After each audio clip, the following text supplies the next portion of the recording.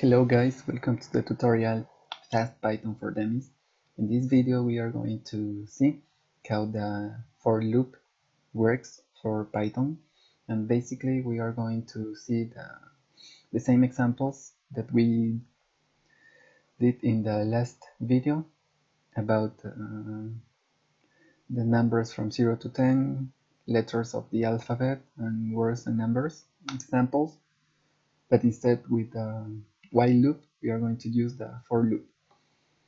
Okay first of all this example the numbers from 0 to 10 you can type this line for numbers in range from 0 to 11 remember in the while loop we went only until 10 and in this case it's until 11 if, if we want the numbers from 0 to 10 and do not forget as well the tab here for coding it correctly and let's compile it to check.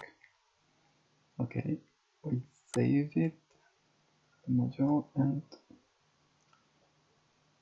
okay you can see here we have the numbers from 0 to 10 and the range has to be from 0 to 11 okay.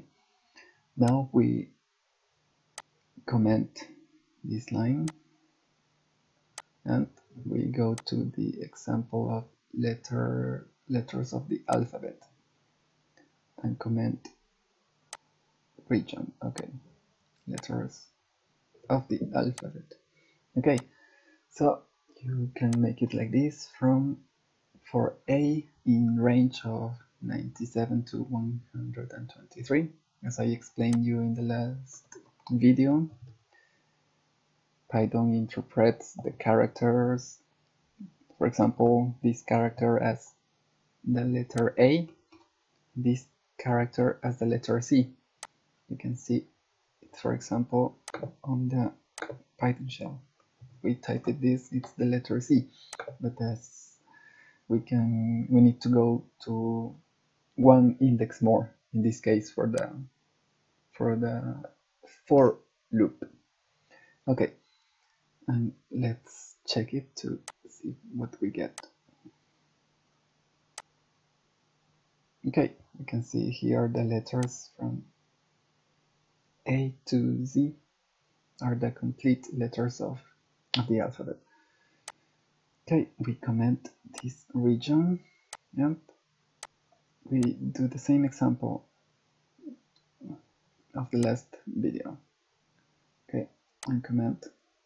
Now we well it's just an example and we suppose we want to print street numbers starting from the street 100 and finishing in the street 150 so we type it like this for a in range of 100 to 150 and we can print. Actually you can print uh, a name of the street but in in quotation marks and then the index. And let's run it and see what we get. Okay it works well. You can see it starts from the street number 100 until the street number 150 okay thank you and see you in the next video